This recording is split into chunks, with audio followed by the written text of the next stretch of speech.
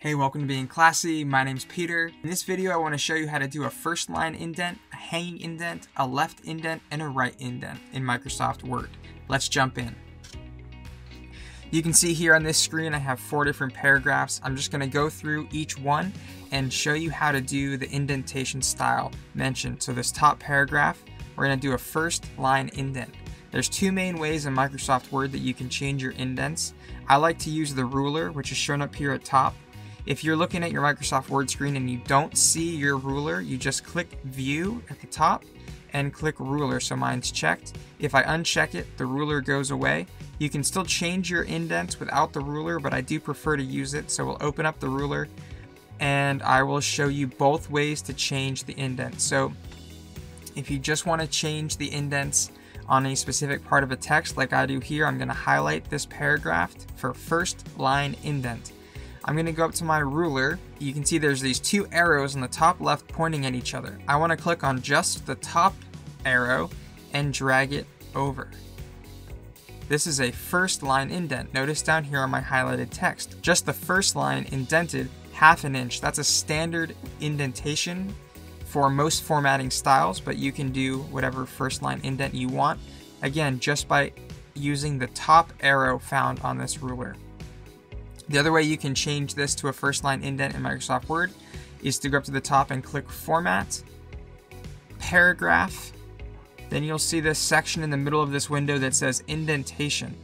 On Special, right now it's set to None. I can go First Line. It automatically generates half, which I said is the most basic first line indent used in most formatting styles.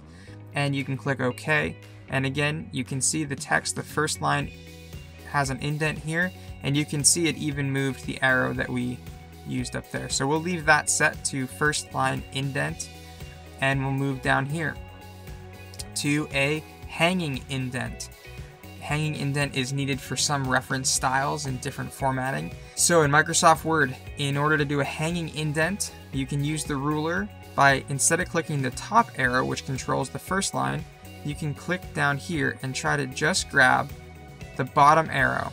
If you click right at the top, right at the middle where the arrows meet, you'll be able to just grab the bottom and you can move it over half. And you can drag over, you can see the first line stayed the same and all the following parts indented half an inch. So this is a hanging indent set to half an inch.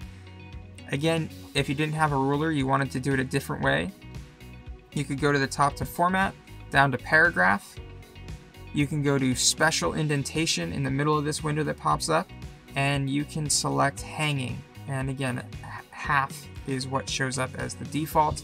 And there we go. You can see the arrow in the ruler window and you can see the text is now a hanging indent. So now we have the first paragraph as a first line indent. This is a hanging indent. Those are the most common indents that you will need for formatting style. Microsoft Word also allows for two other types of indents, so I'll show you those quickly to do a full left indent, which again doesn't change the margins of your paper, which are set in this gray area seen in the ruler. It just changes the indentation of a portion of your work. You can click farther down, you can click the bottom of these, and now you're going to see both arrows are going to move together. And I can move that half an inch, and you can see down here the part that's highlighted, all of the work is indented half an inch. So there's not a first line or a hanging, this is a full left indent. If you go it down further, you can highlight for the right indent and there's one arrow over here on the top right side on the ruler and you can drag that one over and that can change the right indent. Again, if you wanted to change the left or right indent without using the ruler, same, you can go to Format, Paragraph, and under Indentation, there's where you can enter the size of a left or right indentation. And here you have, here's a first line indent, hanging indent, a left indent, and a right indent. I really hope you found this video helpful. If you did, please press that like button, share it with anybody else who could benefit from it, and please subscribe to our channel to stay up to date with all of our new content. We'll see you in the next video.